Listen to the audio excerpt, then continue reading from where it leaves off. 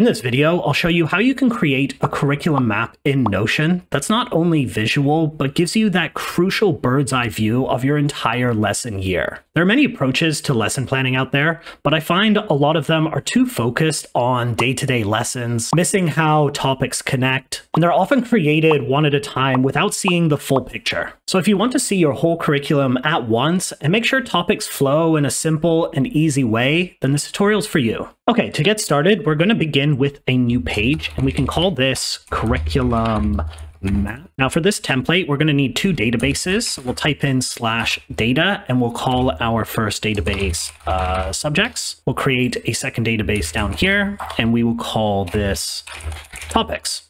Now we're going to hide these titles here and we're going to add in our own titles just to make it a little prettier. We're going to do this, type in topics, add a little divider, and we can do that again with subjects. We can move that up here, add a little divider, and there we go. Now before we get started creating all of these new uh, properties in our table database, we're going to link the two databases together and so they can kind of communicate with each other. To do this, we're going to click on this plus arrow and we'll come down to relation. We're going to select on subject because we want topics to communicate with subjects and we'll click on two-way relation.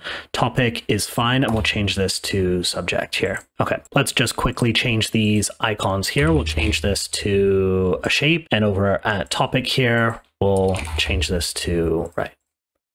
And so now the two are linked together using a relation property. Now to get a better view of these databases, let's change this page to full width here, and we're going to start adding properties to our topics database. For now, we're going to actually hide the subject relation property because we don't need to use it quite yet. So we'll click hide in view. And the first property we're going to add is a status property. So we'll come over here and click on plus. We'll go to status. We're going to change a few of these here. I'm going to remove the in progress one. And for complete, I'm going to title this planned. For to do, I'm going to say not planned just change the color here. And so this status property here is to help indicate whether a topic or a lesson has been planned or not planned. We're going to slide it to the left here and maybe just change the size here. The next property we're going to add is to help us organize these topics by week. And to do this, we're going to use a select property at first. We're going to click on select and we can title this week, maybe give it a different icon for week here. And then if we add in an option, we can begin by typing in, well, week one, week two, week three. Now, I would like to do this for the entire year, but manually typing in 52 weeks is going to take uh, a little bit long, so we're going to use AI to help us do this. So to add in select properties like this really quickly, I'm going to show you a little trick. Now I'm just going to delete this select property we just created and I'm going to create it again but this time I'm going to select a text property we're going to call this week and give it the same icon again there we go but now I'm going to use the power of AI to uh, help me autofill all of these weeks really quickly. And we're going to use Notion AI to help us do this. Now, if you don't currently pay for Notion AI, you could easily use the free version of ChatGPT or Claude or any of those as well. So I'm going to type in, give me all of the weeks of the year separated by a comma like so.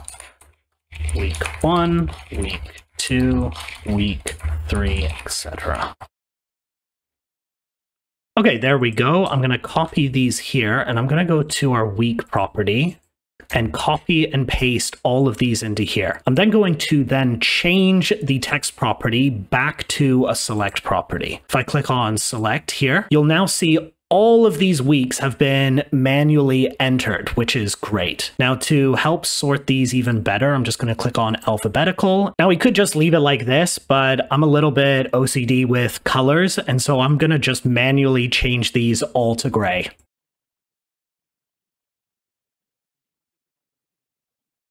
Okay, and there we go. Now you you don't have to do that. You could just leave the colors as they are. I'm just really particular with colors in Notion, and so I'll just spend the extra time uh, doing that. All right, let's close that out. Let's delete this because we don't need this here. And we can see now that we have all of our weeks uh, kind of nicely organized uh, like so. Okay, the next three properties we're going to add are going to help us with our lesson planning, and that's going to be a property for our standards, assessment, and activities. I'm going to create a uh, a text property here, and I'm going to duplicate this three times, duplicate this, duplicate this. I'm going to rename them, rename the first one uh, standards. I'm going to rename the second one, we're going to call this assessment activities. I'm going to resize them here, maybe change some of the icons, be a little bit nicer. Okay, and then we'll resize some of these a little bit. So these three text properties for standards assessment and activities are just there to help us plan our lessons a little more effectively. As for our topics database, those are only properties that we need to add. The last thing we need to do for our topics database is to add a topics template. So we'll come over to our blue arrow here and we'll click on new template and this will bring up a new page. Let's full screen this here so we can get a better view. We can type in, give it a name, write topic here. We'll give it an icon. Let's select a, a good icon for this, maybe here. Okay, and now we're going to customize the layout of this page template. So let's click on customize layout. I'm going to turn off page discussion. Uh, you don't need to do this. I just find it reduces unnecessary noise on the page. I'm the only one who's using this Notion page to do planning, so I don't really need to make comments or communicate with anyone on my workspace. So we'll come over to the property group here and we'll click this and we're going to add in two sections. I'm going to click on add section and type in information. I'm then going to add one last section and I'm going to title this lesson details. Let's move information up here. Then I'll have status subject week here, and then we will put lesson details down over here. Great, and that should be it for our customized layout. We'll click uh, we'll click on apply to all pages here. Great, and we're still editing the template. So for lesson details, standard assessment, and activities, I'm just going to leave some question prompts here. So whenever I do create a topic, it is there to remind me what kind of information I should be adding in these text fields. And what skills do you want your students students to learn? Maybe under assessment, how well students show they know the skill. Then lastly, under activities, what activities should the should these students do? Okay, great. And that is it for our topic template. We'll come back to the main page here and we'll go back to our new template and we're just going to click on the three dots and click on save as default. We'll click on all views and topics there. Okay. And now whenever we create a new topic, it'll create this page template with the name, all of our question prompts, and it's just nice, clean, and organized. Okay, let's clean this up a bit. We'll delete these two topics here, and let's just fix up our subjects database. Now, we don't actually need to add any more properties here, just the topics relation is fine. But to make it a little more visually appealing, we can change up the type of view for the subjects database. So as an example, let's just add in a subject. Maybe we'll just say English, we're going to come over to the three dots and change it from a table to a gallery view. Page content, we're going to select on page cover. Medium, maybe we'll just select small for, for this. This looks fine. Okay, now let's add in a template for our subjects page. Okay, we'll open up the new template here and we'll full screen this here. Let's type in new subject. We'll give this an icon, maybe a book. Okay, and just like the topics template, we're going to click on customize layout. Let's first click on the property group here and we have topics. Now, once you start planning and you're planning out many topics for maybe one subject, you're going to have many many different topics 10 20 50 whatever and so we're going to actually hide this and click on always hide now we actually have a better way that we can view these topics inside the subjects page. And so here you can see in page settings, we have structure, simple, and then tabbed. We're going to click on tabbed here. And then we have a first tab, which is content. We're going to click on the second tab and click on topics. And so now we will be able to see all of our topics for this subject. Let's kind of arrange these here, make it a little nicer. So we're going to put status onto the left. We're to remove subject. We're going to click on hide. We're also going to hide these activities, assessment, and standards so we can just see the status, the name, and the week. Let's also click on sort and we're going to sort by week as well. Okay, I believe that's all we need to do for subject and we'll click on apply to all pages. Great. And so now we have two tabs. We have a,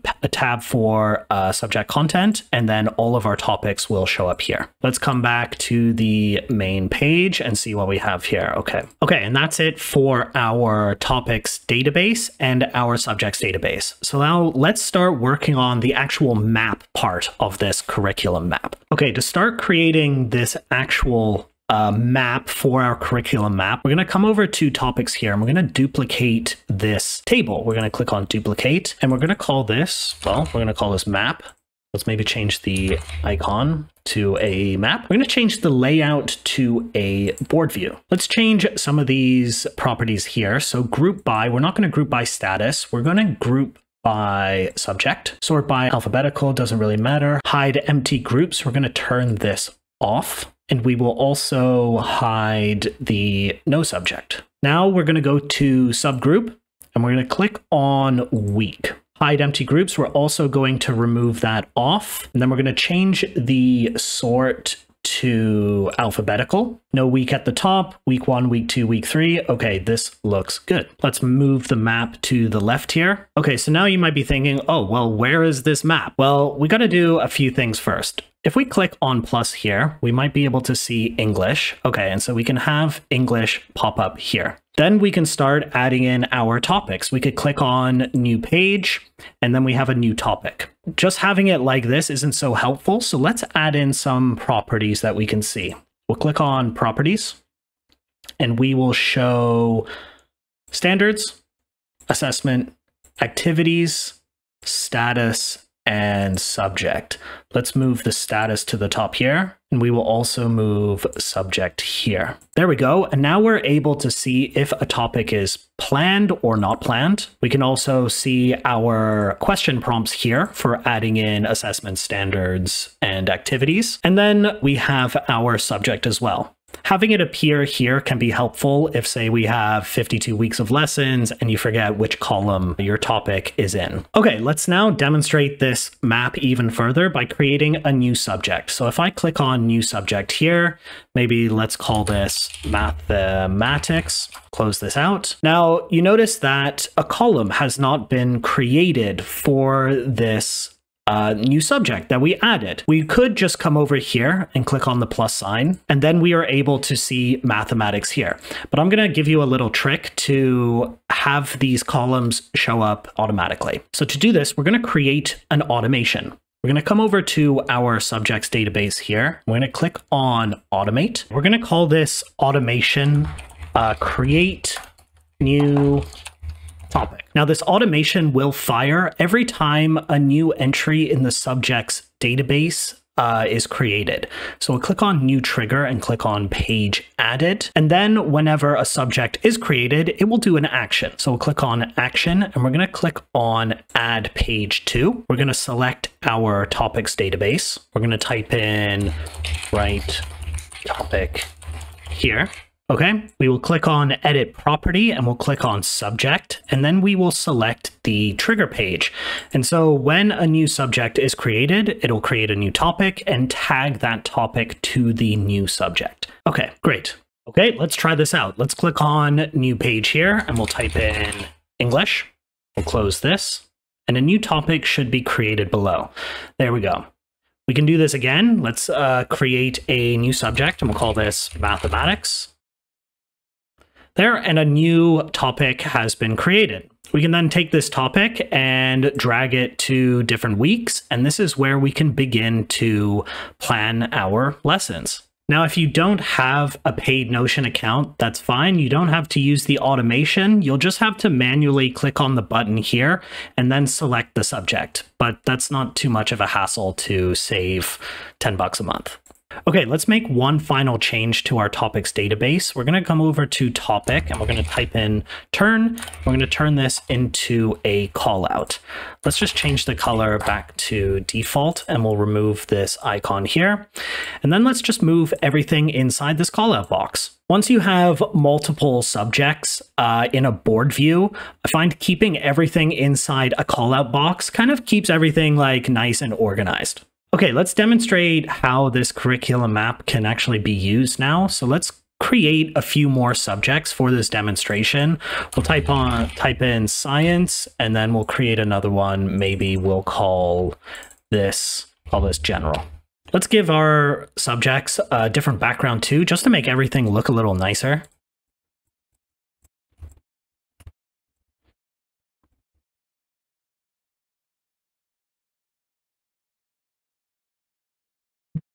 We can just change the size as well.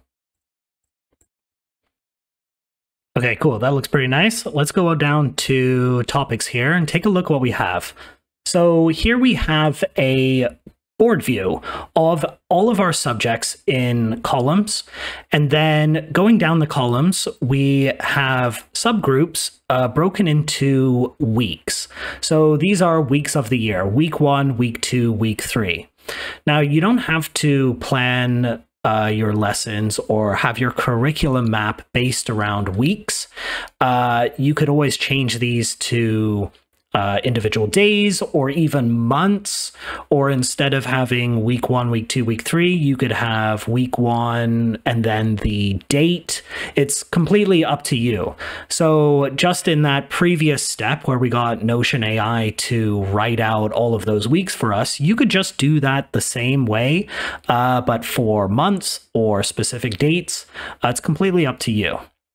But having your map like this, uh, you're able to create uh, topics very easily. And also what's nice is you can drag them around. On top of that, we have a status for planned or not planned. And so this can help you stay really organized with uh, what topics you have prepared materials for. Over time, you can fill out all of your topics for each of your uh, subjects and hopefully create a really effective plan for all of your subjects. One final thing we can do is if we come to the table here, we can go over to the three dots. We're going to click on group and we're going to group by subject. We're then going to click on sort. We'll sort by week. Okay, and now we can see our entire curriculum map in a table view. So instead of being organized by week in a board view, we can easily see uh, all of our topics like this. Now, if you're interested in downloading a more complete version of this template, you can go and click on the link in the description down below.